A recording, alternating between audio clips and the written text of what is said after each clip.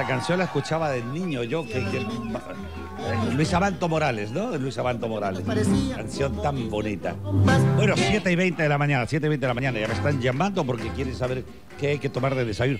Pero Catherine, Catherine Cántaro es nutricionista también de los deportistas.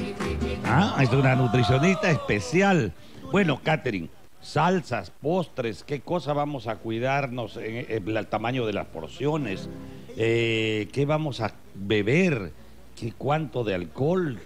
Cuéntanos, a ver, ¿cómo, cómo, cómo, cómo sería un, un desayuno que nos permita gozar de la fiesta? Un almuerzo que nos permita y no tengamos problemas. Sí, bueno, doctor, mu- muy buenos días. Contenta de poder estar aquí en estas fiestas patrias, pudiendo comentar sobre la salud. Eh, bueno, hay que, hay que recordar lo que usted acaba de decir, que las enfermedades no descansan. Entonces, así como las enfermedades no descansan, todos los días nos tenemos que cuidar, incluyendo en las fiestas. Claro que en las fiestas uno pues se da algunos gustitos, pero siempre con moderación. Hablando de entonces un buen desayuno. Chicharrón con camotito, con, con su pan, ¿cuántos? A ver, entonces, chicharrón es un, ex- un buen alimento por la carga de proteínas, o sea, nos ayuda a formar el cuerpo. El tema es las grasas, entonces vamos a tratar de escoger pues la parte del, del lomo, la parte de la carnecita, Claro, más que pues no- y no- escoger esa grasita que aunque sabe que rico, Uno va al chicharrón por la grasita. ese es el tema. O sea, como estamos hablando de escoger buenos alimentos, el chicharrón, como les digo, tiene buenas fuentes, pero esa grasita que sabe tan rico es la misma que tenemos en la pancita. Entonces, no necesitamos esa grasa que ya tenemos. Que ya tenemos. Entonces, lo que hay que hacer es seleccionar. Vamos separando aquello que no me va a servir. ¿Cuánto, cuánto de en, en gramos? Estamos ¿Cuánto hablando de, de, la- carnecita? lo saludable, eh, hablamos dependiendo. En las mujeres entre 30 a 40 gramos, los varones 60, 80 gramos. Si hablamos siempre, de. ¿no? Claro, es que el tema es la grasa, porque es un alto consumo de Un grasa. día yo le pregunté a una chicharronería muy popular en Lima y me dijo que sus sándwiches tienen 200 Dos gramos de chicharrón. Chicharrón. Eh, 200 gramos de carne. Es mucho. Eh, es para el- cuatro. Sí, lo que pasa es que estamos hablando del desayuno, que también tiene que tener una fuente proteica, pero no es como el momento principal de consumir proteínas. ¿Por qué? Porque además de lo que tenemos que priorizar en la mañana, pues son los carbohidratos que nos ayudan a despertar. No está mal dependiendo quién seas, porque si eres un deportista, porque si eres una persona que, que va a metabolizar esas proteínas, ¿qué quiere decir? Esos carbohidratos. cuerpo- Esos carbohidratos. Ambos. Ambos. ¿Por qué? Porque si hablamos de 200 gramos de chicharrón, estamos hablando de una gran alta cantidad de proteínas que cuando una persona tiene algún problema de enfermedad podría ser excesivo para su riñón. Así que hay que controlar la porción y si no, pues dividirlo. Yo Luego, creo que hay que compartir. hay ¿no? que compartir. Esos chicharrones, que esos sándwiches que son enormes. Yo creo que te invita a compartir en dos o en cuatro, si puedes. Se podría comer más, pero a esto le vamos a acompañar el camote, que es otra fuente de energía, le vamos a acompañar con el, El pan, mismo pan. le vamos a acompañar con una bebida, entonces en suma la energía va a ser bastante alta. A ver, a ver, va- imagínate que tomes chicha Ajá. o gaseosa, más el pan, más el camote. Es como si se hubieran preparado para una El- maratón. lo único que se salva ahí es la cebollita. No, y esto es, por eso hablamos, es bastante energía que nos tiene que despertar, pero hay que seleccionar que sea energía saludable. sácame, sácame de una duda. Ayer, Pacheco, que hay que darle un- una bandera que vaya él Sí. siempre con su bandera. Gladys también. Gladys, Gladys Tejeda. ¿Tomaron o no tomaron desayuno? Probablemente para correr, para- para correr, para hacer ese ejercicio de 42 kilómetros. Hay que estar Ah, con hay algo. que comer, sí, claro, ¿A qué pero- hora tomaron desayuno y qué tomaron? Deben de haber tomado desayuno unas dos a tres horas antes, pero algo ligero. Por ejemplo, un chicharrón con tanta grasa, pues no les No, va a dejar no. correr, no van a poder digerirlo. Entonces, eres- probablemente han de desayunado pan, han desayunado algo de avena, han desayunado azúcares, porque es que la energía quieres es rápido. gasolina. Claro, esa es energía rápida. El problema de un desayuno demasiado contundente cuando uno no va a hacer actividad física es que va a guardar esa energía, mientras que ellos debieron haber desayunado alimentos de fácil digestión, que estamos hablando la avena, el pan, probablemente sí le agregaron mermelada, probablemente sí le abrieron ¿Mantequilla?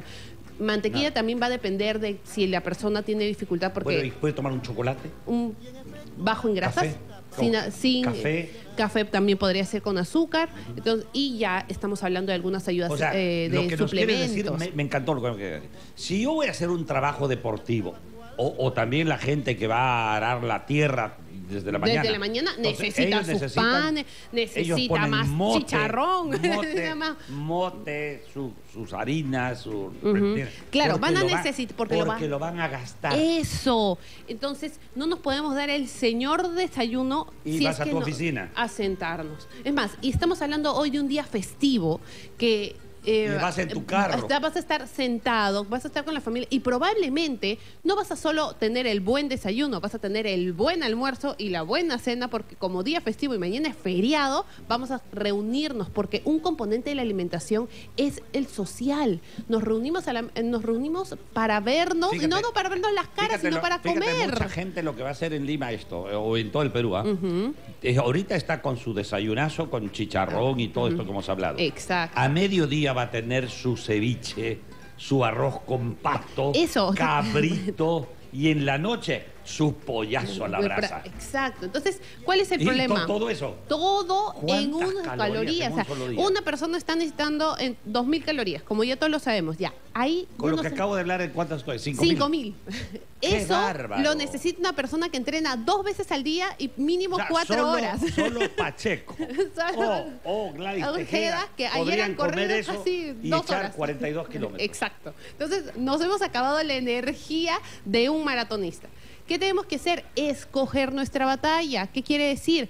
Yo sé que voy a almorzar, voy a tener la comida con la familia en el almuerzo, me controlo en el desayuno. No voy a comerme pues 200 gramos de chicharrón, sino me voy a comer 60 gramos, dependiendo, y Puedes uno, comer dos de todo. Lo que me panes. quiere decir, eh, Catherine, Es que puedes comer de todo, pero racionaliza Exacto, y la que- cantidad. Y que si sabemos, sabemos que es un día festivo y que vamos a escoger, hay que escoger.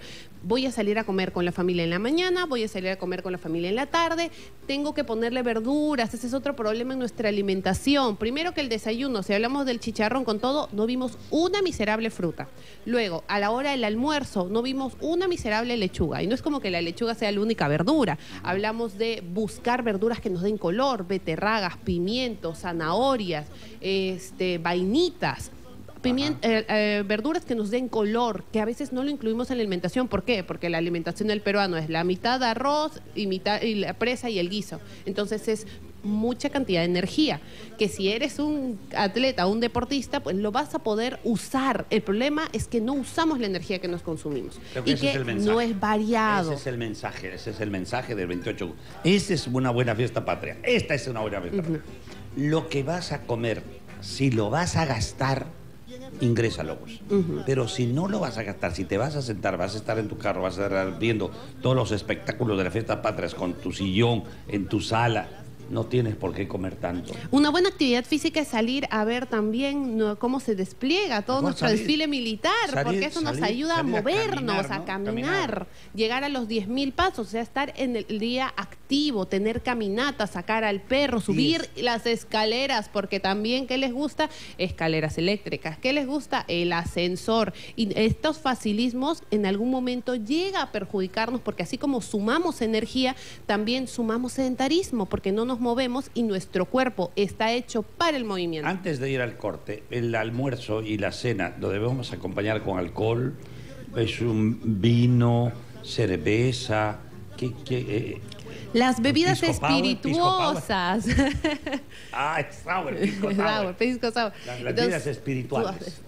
¿Qué está pasando con ellas? Nos aportan gran cantidad de energía. También nos ayuda pues a este, esta parte social de la alimentación en donde nosotros podemos El- brindar. el compartir, el pues. compartir. Pero como habíamos visto, estamos ingiriendo energía. La vamos a usar. De preferencia entonces podríamos acompañarlo todavía en el almuerzo porque vamos a seguir Yo moviéndonos. creo que es más práctico Es con más- vino, ¿no? Porque estás sorbito a sorbito, no necesitas meterte toda la, la, la- la- la copa como la cerveza. Sírvete, exacto. Es sírvete tu porción. Es ya, voy a, voy a brindar, sí, voy a escoger una cerveza, voy a escoger- porque al final todas las bebidas van a tener energía, todas las bebidas alcohólicas van a tener energía. también es energía. Es más, lo peor es que si la energía toda se absorbe en el intestino, el alcohol se absorbe en el estómago más rápido aún. Creo que el alcohol se absorbe desde la lengua. Es más, sí, va y- pasando y se va absorbiendo ya. Y si tu cuerpo va sintiendo que se- los efectos del alcohol, va sintiendo, va convirtiendo este alcohol en grasa, porque considera que está consumiendo un tóxico. Entonces, el alcohol hay que tomarlo con moderación y escoger una porción. Voy a tomar una copa,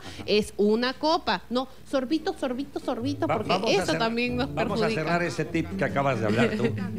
El alcohol, una copita de pisco sour, se va a convertir en grasa.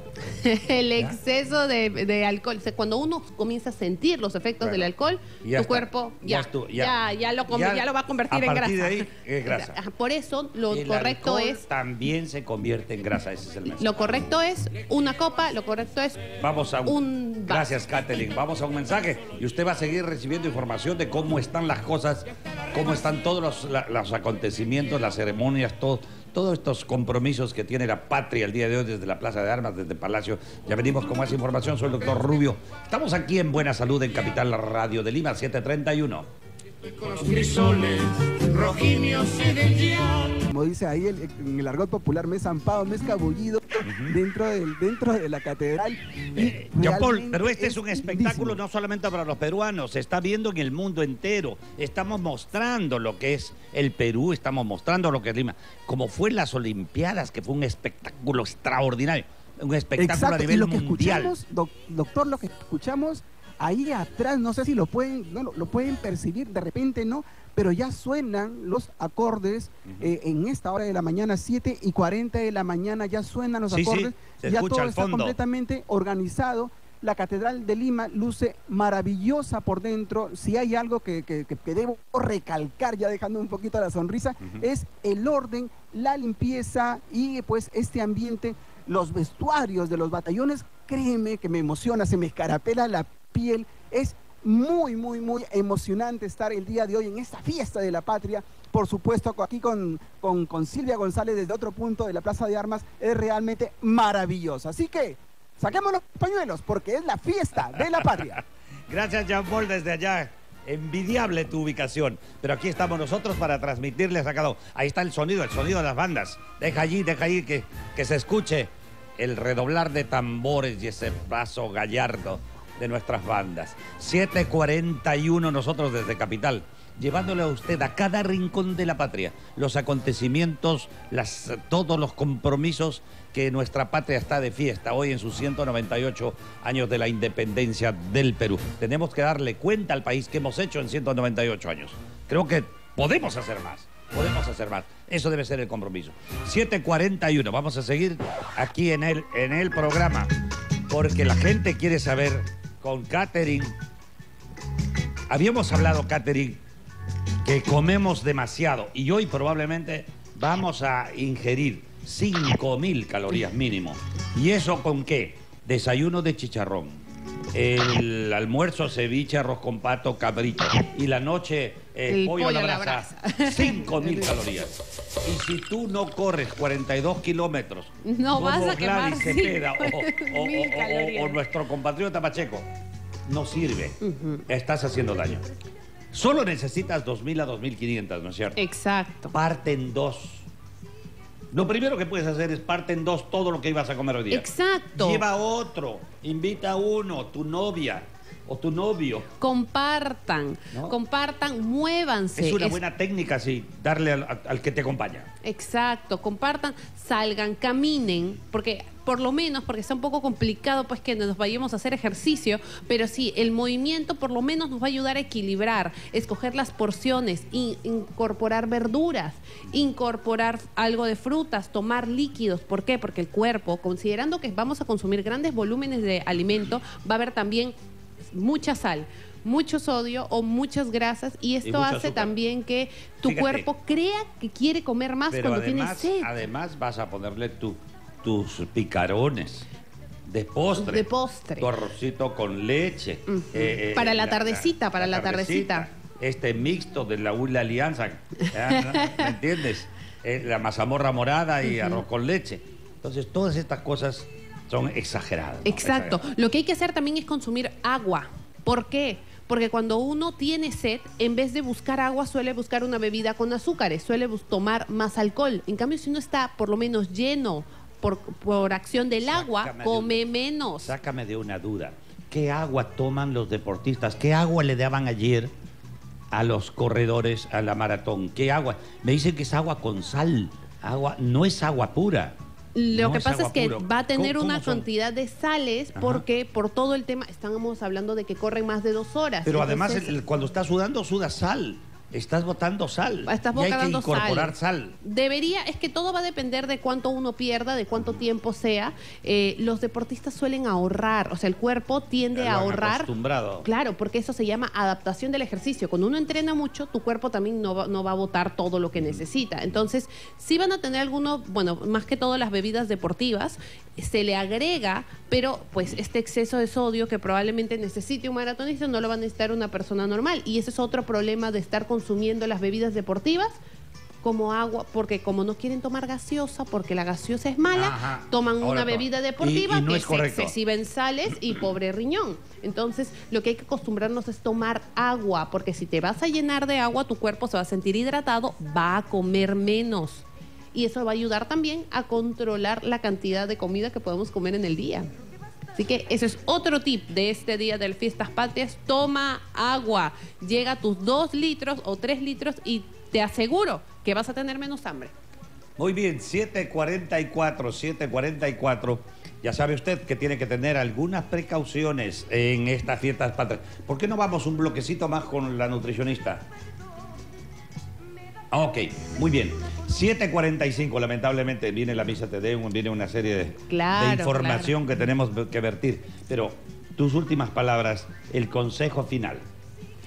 Consuma con moderación, celebre, celebre y muévase. Trate de escoger una comida porque también es, no es como el, súper desayuno, el súper almuerzo, la súper cena, no. Tengamos una comida grande, controlemos las porciones, en especial hay que tratar de que tu comida grande sea el almuerzo para que en la cena no te metas pues toda esa comida, toda esa energía porque ya te vas a dormir.